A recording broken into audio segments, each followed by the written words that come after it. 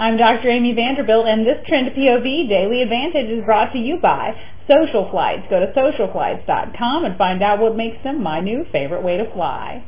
All this week we're talking about cultivating your brand idea, what that is, and how to do it the right way. Our tip today, You've got to live your brand idea 24-7. Everything, thanks to social media, that you say, that you do, the products that you put out there, the messages that you deliver, even the things that your employees do when they're on their break can all have an effect on your brand and whether or not you're able to convey that brand idea and evoke that emotion that you're going for. So you've got to live it 24-7 in every aspect of your brand. It can't just sit there sequestered in the marketing department. Keep it right here all week long for more tips and ideas on how to cultivate your brand idea. Join us for the show on Friday. And for more Daily Advantage, we'll see you right back here at TrendPOV.com.